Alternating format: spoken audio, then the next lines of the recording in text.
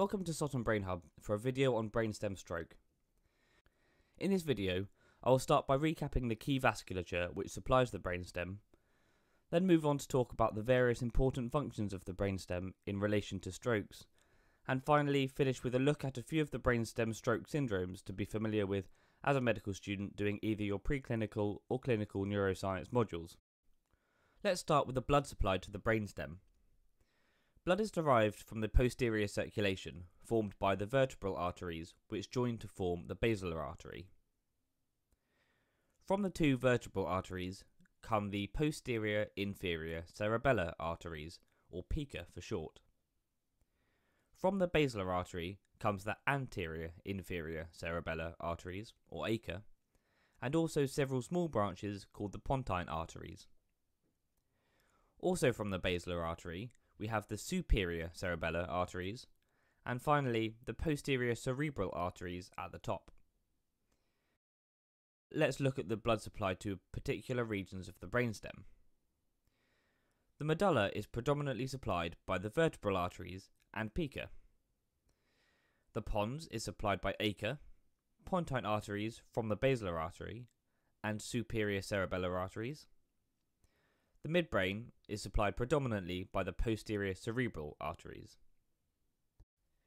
Now we can move on to talk about the various functions of the brainstem. As you know, the brainstem contains lots of important structures and its detailed anatomy is complex. We will consider the functions of the brainstem as divided into three main categories tracts, nuclei, and physiological centres. Clinically important tracts that run through the brainstem include the corticospinal tract, which is a motor pathway, and the spinothalamic and dorsal column tracts, which are sensory pathways. Damage to the corticospinal tract will result in weakness or paralysis of particular muscles. Damage to the spinothalamic tract will result in loss of pain and temperature sensation.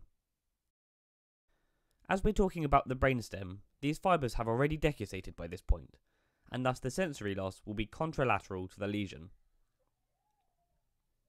The dorsal column pathway is less clinically important in brainstem stroke.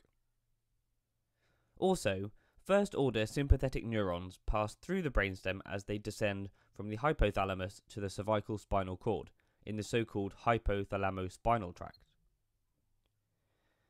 Damage to these neurons may result in an ipsilateral Horner's syndrome, which presents as miosis and partial ptosis. There are also tracts which travel into and out of the cerebellum via the cerebellar peduncles of the brainstem.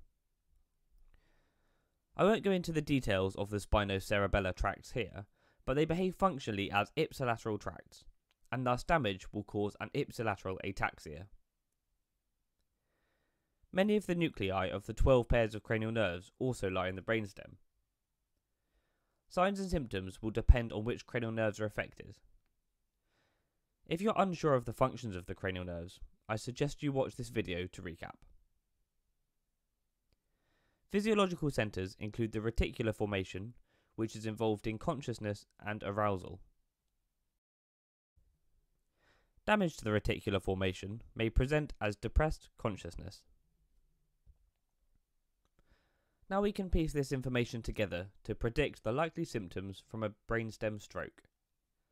Here, I'll talk about a syndrome affecting the medulla, Wallenberg syndrome, another syndrome affecting the midbrain, Weber's syndrome, and finally a syndrome affecting the pons, locked-in syndrome. Wallenberg syndrome is also called lateral medullary syndrome or PICA syndrome. Given that it affects the medulla, the most likely responsible blood vessels are the vertebral arteries or pica. This is the commonest of the brainstem strokes. We can consider its presentation in terms of the brainstem structures that are affected, as divided into the three main categories we talked about earlier tracts, nuclei, and physiological centres. Affected tracts within the medulla include the spinothalamic tract, which results in contralateral loss of pain and temperature sensation. Also, the spinocerebellar tracts can be affected, causing an ipsilateral ataxia.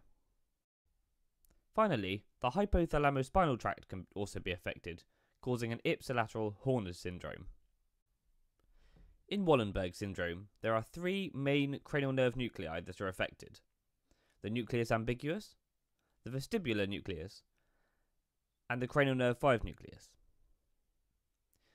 Nucleus ambiguus is associated with the glossopharyngeal and vagus nerves, and thus damage results in a hoarse voice and dysphagia. Damage to the vestibular nucleus can cause vertigo and nystagmus. Damage to the cranial nerve 5 nucleus results in ipsilateral facial loss of temperature and pain. In terms of physiological centres, the reticular formation can also be affected, which results in depressed consciousness. This clinical picture can be remembered with the mnemonic DANVER. This stands for dysphagia, ataxia, nystagmus, vertigo, anesthesia, and Horner's syndrome. Now let's move on to talk about the next syndrome, Weber's syndrome. This is caused by an interruption to the blood supply to the midbrain, typically the posterior cerebral artery. The main tract affected is the corticospinal tract, which results in a contralateral weakness. The main nucleus affected is the cranial nerve 3 nucleus, which results in an ipsilateral oculomotor nerve palsy. Physiological centres are often not affected. Finally, a syndrome that affects the pons includes locked in syndrome, which may be caused by a stroke affecting the basilar artery or also a traumatic brain injury. The two main tracts affected in locked in syndrome are the corticospinal and corticobulbar tracts. Damage to the corticospinal tract in the pons results in quadriplegia. Damage to the corticobulbar tract results in anarthria, which is an inability to speak. As a result, sufferers are often heavily dependent on their carers. There are several cranial nerve nuclei involved, but clinically, bilateral damage to the abducens nuclei restricts horizontal eye movement. However, Vertical gaze is not affected as the oculomotor nucleus lies in the midbrain and is thus unaffected. Physiological centres are often not affected in locked in syndrome. Therefore, there is no loss of consciousness and cognitive faculties can remain intact. So, to recap, brainstem strokes are typically caused by an occlusion of a vessel in the posterior circulation. Signs and symptoms include those associated with the three main functions of the brainstem. Damage to the tracts may present with a motor or sensory disturbance, ataxia, or Horner's syndrome. Damage to cranial nerve nuclei may present as cranial nerve dysfunction, which will depend on which nuclei are affected.